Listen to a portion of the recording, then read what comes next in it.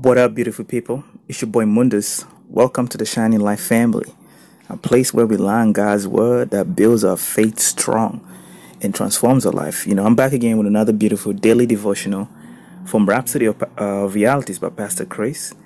And today we're going to review the, one of uh, the articles from the devotional like we do. We're going to do a Bible study. We're going to learn God's word. So you're in for a treat. So don't be in a rush, you know, just stay where you are and just get ready for this. So they, today's title, we're talking about your true value defined. That's the title for the uh, for the study, and uh, uh, the scripture is from Romans. Theme scripture is from Romans chapter eight and verse Romans chapter five, verse eight or nine.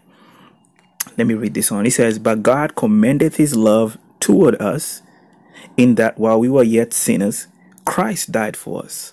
Much more then, being now justified by his blood, we shall be saved from wrath through him. Oh wow, that's a powerful scripture. This is, is showing your true value is being defined. This is amazing. Can you can you say but but God commended his love towards us. While we were sinning, we didn't even care about God, but he loved us. And the the spiritual logic, this is a spiritual, you know, sometimes when you study scriptures, you need to this is it's not human logic. You know there's there's portions of the scripture especially if you are in epistles when paul will compare one thing to another. He said if god did this there's a principle. How much more then we are saved? If we were sinning we didn't care about god we didn't care about him he died for us. Now he has saved us. Now we live with his kids. If he could love sinners that much how much more now we are his kids? We are born of him and that love for sinner was great that he didn't spare his son. How much more now we are being re- brought into union with him. This is a deeper love. And I don't get ahead myself. Let me just read the first paragraph of the devotional and then we can discuss this. It says, The Bible speaks of the Father's love poured lavishly in Jesus Christ. Such an extraordinary love did he express towards us that while we were yet sinners, Christ died for us. He didn't die for us because we were living right. He did it while we were yet sinners. That is indescribable love because it describes our value. That is a that's a measurement of value. Oh, now it makes sense because it is like saying, you know, when you're in school, they used to say, um, if if, if they'll, they'll, do, they'll do like measurements, they'll say if you take like um I don't know bag of feathers and then then they'd say like if you measure uh, hold on hold on I don't I don't confuse this. The point of the matter is there was like a compare there was, there was a scale of comparison. Like so they would say there's like a metric system. Like let's say you're saying you're using pounds or if in the in the in the, in the UK or ever or or any other country that you uses kilos you know there's like a defined metric system. Like you measure stuff based there's a there's there's a there's a base level for measurements. Like so maybe if you if you go to the US they, they have ounces, they got pounds and ounces. And then maybe if you go to another country, uh, or different parts of Africa, especially, I think they still use the metric, the kilos and um, the grams, that type of thing. So there's like a defined measurement to determine value, right? So like if you have a bag of feathers and then you'll be like, if you have a bag of feathers and then that was a hundred kilos or hundred pounds, and then you had a bag full of of of, of um stones, a bag of uh, a bag full of rocks. That's a hundred kilos. And then someone will say, "How much? Which one is much heavier? The bag that's full of feathers, that's a hundred kilos, or the bag that's full of stones, that's a hundred kilos?" And then what be like? This used to trip up a lot of people when you're growing up. You'll be like, "Oh, of course, the bag of stones is much heavier," and then we're like, "No, it's the same weight." Because there's a, there's a there's a there's a base level of measurement. The point I'm trying to make is God dis- uh, determined his measurement system because he, he, he died for us while we were sinning. He showed us his love. His love was demonstrated to us. His measurement of how far his love can go was shown because he didn't say, Oh, no, no, no, no. If they were good enough, my love can, at least if they were a little bit better, Oh, let me show you this scripture. He said, if, if they were a little bit nicer, maybe I, w- I would send Jesus. Maybe I would die for them. But no, nah, nah, they just, they're sinning. No, no, no. He determined the measurement of his love. It's a measurement of love. Love as a measurement. Oh, I'll show you that in a bit. Like just like we said, the bag of feathers, a bag of rock. Love actually has a measurement. So God determined how can this love go. He didn't end this love and saying, "Oh man, let me just die for people that are being nice, a little bit nicer." I mean, he didn't do bad things. No, his love went beyond the niceness. It went actually to the to the worst bunch, the the, the worst of the worst the terrible sinners. I say you can say, "Oh no, no, I was not that bad." No, every man has sinned. It's not about like your action. Sin is a nature. So he went and said, "You know what? I'm not even gonna wait for them to be nice or good. I'm just gonna die. I'm, I'm gonna love him while they're sinners." So he determined a measurement of how far this love can go. And then Paul says, if God could go that far for a sinner, now that we've been reunited with him, now that we're justified, how far can he go for people, for his kids now that he loves? If his love was measured, he could go that distance for a sinner. Then, let me show you this scripture. So now we are, we are reunited with God. Oh, there's no there's no depth. Now it makes oh my God, this makes you know like I, uh, like we we study right now the wisdom of God is being is being manifested. Because I'm learning the same way too. Because the Spirit God is ministering. It makes sense. You know, I used to read that scripture. I didn't understand. I never used to get an understanding. What does this scripture mean? I'm gonna show you this scripture. Let's go to the book of um. Uh, let us go to the book of Ephesians. Ephesians chapter three. This scripture now has come alive. He has come alive in this. So Ephesians chapter three. How fucking God, God's love go? If he went all the way and, and he plucked up a sinner, that's how deep he went. How much more now we are reunited with him? So okay, so from from verse 17, let's start from there. He says that Christ may dwell in your hearts by faith, that ye being rooted and grounded in love, may be able to comprehend with all saints what is the breadth, the depth, the length, and the length, and the depth and the height, and to know the love of Christ, which passes knowledge, that you may be filled with the fullness of God. He says, you, you, you might be able to know with all sense, comprehend the breadth. These are measurements. These are measurements. These are dimensions of love. There's, there's a breadth. There's a length. These are all metrics of love. There's a depth. How deep can this love go? How high can this love go? How far can it go? It went so far that he rescued a sinner and died for them. Now we are reunited with God. There's no, it is endless. Is His love for us is infinite.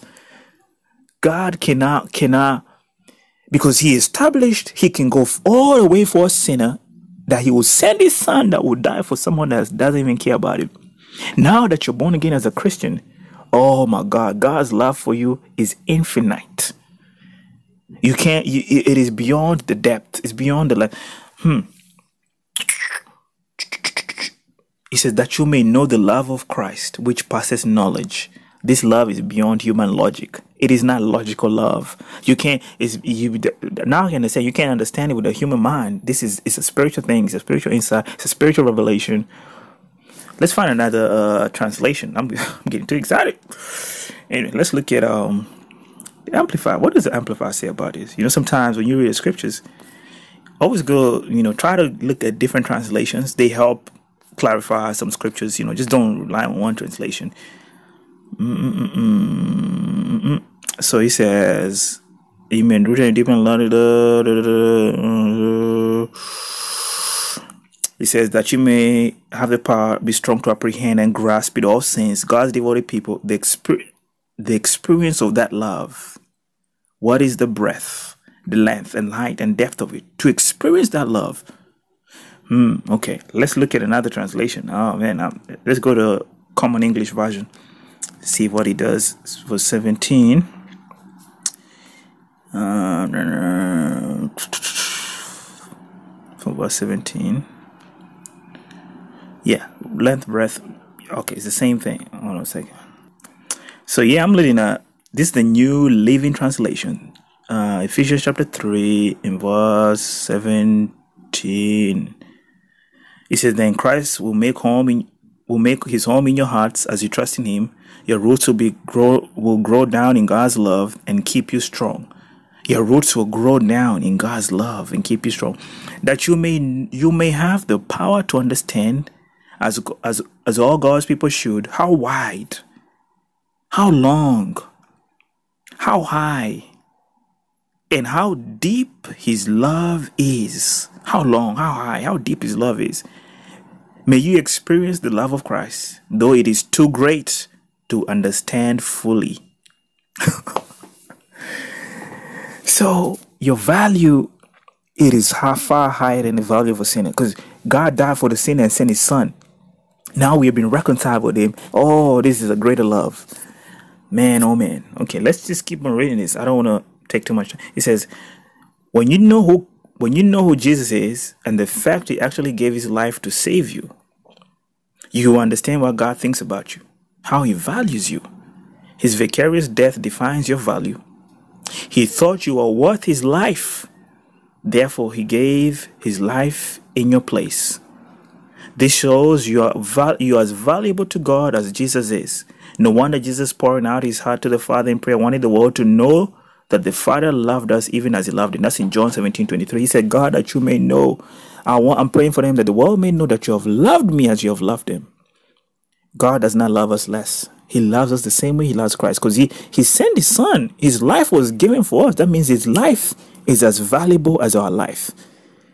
If you someone who sacrificed their life for someone else, that means their life is worth our life. Because no one that just gives, oh man, no one just sacrifices their life for anybody. But this is beyond human logic. This is he talks about the depth, the, the, the high, how high, how wide the love of God is. That he, you're, we are valuable. That he will send his son to die on that cross with with no. He didn't send no angels. He didn't send no prophets. He came down. He sent his son, and he crucif- He was crucified on that cross so that we may live that is how much valuable we are to God. We are not nothing. So this is this is another thing too. When um when you hear a lot of people say, "Oh, we're nothing but sinners saved by grace," we are not sinners. This is an insult to God because we were sinners and He sent His Son and He died for us, and then we were born again. When you're born again, you're not a sinner. You're you're, you're not the sinner that was in. You know, oh no, we are just we are just God's servants. We are just nothing we are what God's love. we are what God the life of Jesus. We're not nothing. We are not servants. I mean, in an essence, you can say we are God's servants, but we are born of God. Oh, man, oh man. Let me show you a scripture. Let me show you a scripture. A lot of scriptures is just popping out of my head. The Spirit of God is just showing me all these scriptures. I hope you got time. I don't want to take too much time today, but let's see if we can see one more scripture. So I'm reading the book of Romans, chapter 5. Uh, Romans chapter 5, verse 4. Let's start from verse 4 and hope maketh not ashamed, because the love of God is shed abroad in our hearts by the Holy Ghost, which is given unto us. That love that God has for is been given to us. Oh man. So we said he says, For when we were without strength, in due time Christ died for the ungodly.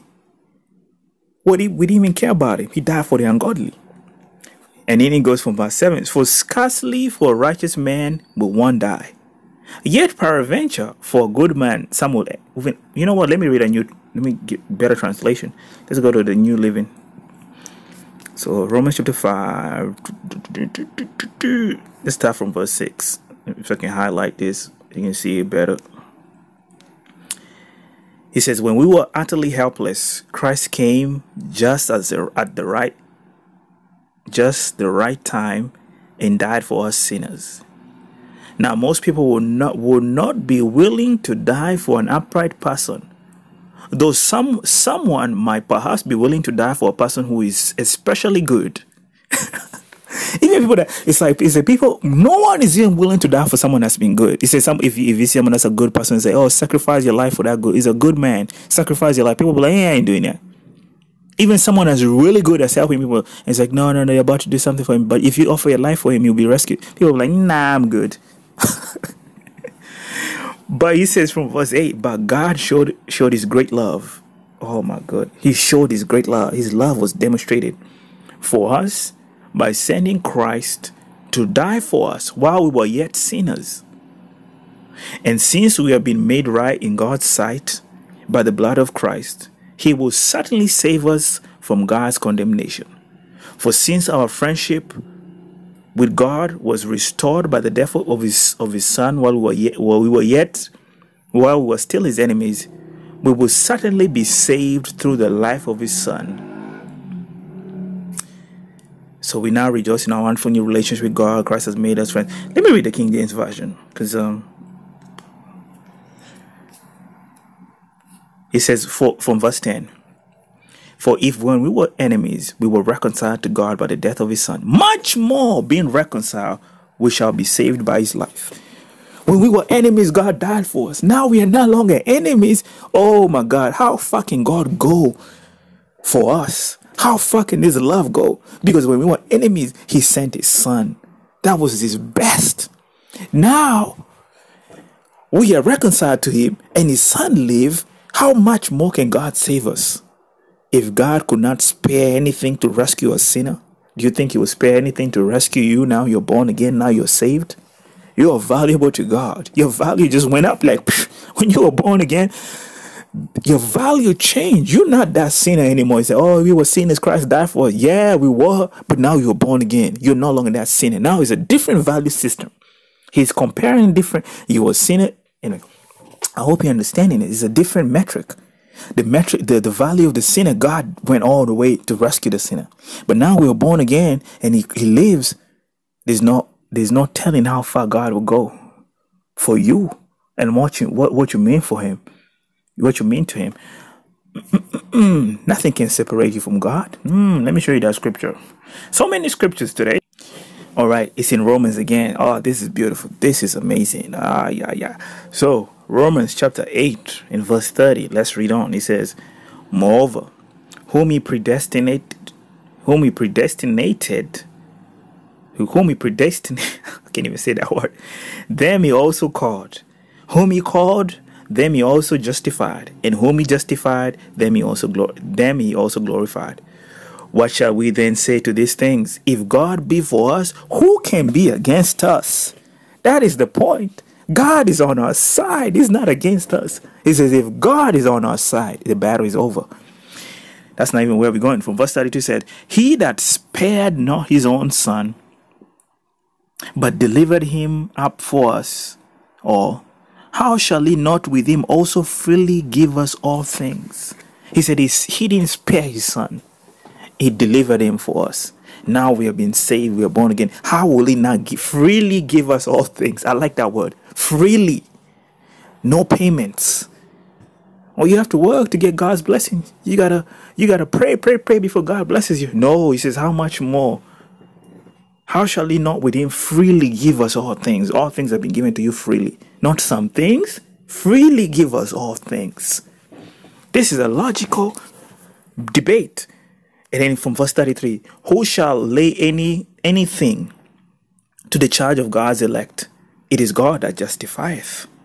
Who is he that condemneth? It is Christ that died, yea rather that is risen again, who is even at the right hand of God who maketh intercession for us. Who shall separate us from the love of Christ? Shall tribulation, or distress, or persecution, or famine, or nakedness, or peril, or sword, as it, as it is written, For thy sake we are killed all day long.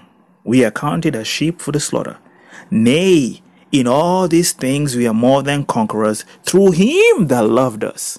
For I'm persuaded that neither death, nor life, no angels, no principalities, no power, no things present, no things to come, no height. Remember the, the, the dimensions of love, the breadth of love, the depth, no height, no depth, no any other creature shall be able to separate us from the love of God which is in Christ Jesus our Lord. It says nothing can separate us. It doesn't matter how far we are. It doesn't matter how far the problem, the problem we go, how deep we go. It's the love of God. We can comprehend how deep this love goes, how high this love goes, how wide this love goes. It says no even angels can separate us from this love. Not not life, no death, no principality, nothing to come, not the future, not the present. Nothing can separate us from God's love. That's how much valuable we are to Him. You are not nothing. Don't you look in the mirror. The whole world is not even worth you even in heavens, you, God, you have to understand. Oh man, I don't even. No, even not, not even angels. He says, not even angels or principalities are worth you. Nothing can separate you from God's love. That's how much valuable you are. So people that go like, oh my God, be worship angels. Nah, the, the scriptures kind of tells you your, your rank and your value, your, your value to God. Man, oh, we're running out of time. Let's let's finish this up. Hmm. Okay, from let's keep on reading. It says, "How inspiring it is to know that Jesus gave His life so that you may have it." Oh man, this is ah, that life you ought to live now should be the life of the Son of God. Live His dream Paul boldly declared in Galatians chapter 2 verse 20, I'm crucified with Christ. Nevertheless I live, yet not I, but Christ liveth in me. And the life which I now live in the flesh, I live by the faith of the Son of God who loved me and gave himself for me. Oh, we live by the life of Christ. See, He died for us and He gave us His life. He says, The life now I live on the flesh is not the sinner's life uh, that, that was before I got born again. It's the life of Christ. Christ in me. He says, The life that I live on the flesh is the life of Him. We have become one now. It's not our own life. He says, Don't live a lesser life, live God's dream. He considered you valuable, gave Himself for you.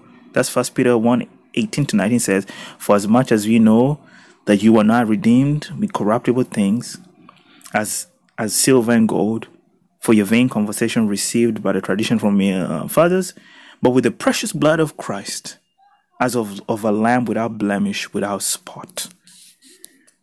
By the precious blood of Christ. That's how much valuable you are. His life. And the life we live in the flesh, we don't live no more the old life. We live by the, the faith of the Son of God who loved me and He gave Himself for me. Oh man. Alrighty, let's take this prayer together. Let's just let's just pray. Just repeat this prayer after me. Say it out loud. Blessed Father. Thank you for your unfailing love. It surrounds me like a shield, and I soar in its comfort and bliss forever. This love compels me to preach the gospel to the lost and turn them from sin unto righteousness and from the power of Satan unto to God in Jesus' name. You can read further studies in Ephesians chapter 3, verse 17 to 19, 1 John 4, 8, 10, and you can follow a one year Bible plan or two year plan pick whichever scriptures, whichever plan suits you. Thank you once again for watching. I appreciate it. I hope you've been blessed by today's devotional. You know, we learned a lot. I'm learned a lot. So, and if you're new to the family, welcome to the Shining Light family. We learn God's word here. So if you have not subscribed, make sure you subscribe. Make sure you leave me a like, a comment. I read all your comments. Thank you once again for your support. We're just making progress together. God is taking us to a different dimension a different level day by day. As we study God's word together, we grow in our faith and in the knowledge of God, and that's important. So thank you once again. I'm gonna pray for you in a second. And before that, I want to pray. If you're not born again, I want to pray for you. If you don't know Jesus as your Lord and Savior, let me lead you into this into, into this prayer of salvation. So say this after me. Oh Lord God, I believe with all my heart in Jesus Christ, Son of the living God. I believe he died for me and God raised him from the dead. I believe he's alive today. I confess with my mouth that Jesus Christ is the Lord of my life from this day. Through him and in his name, I have eternal life. I'm born again. Thank you, Lord, for saving my soul. I'm now a child of God. Hallelujah forevermore. As simple as that. Make sure you subscribe to this channel so you can build your faith and learn more of God's word. That's important. So I want to pray for all of you that are watching that God's hand of blessing will be upon you.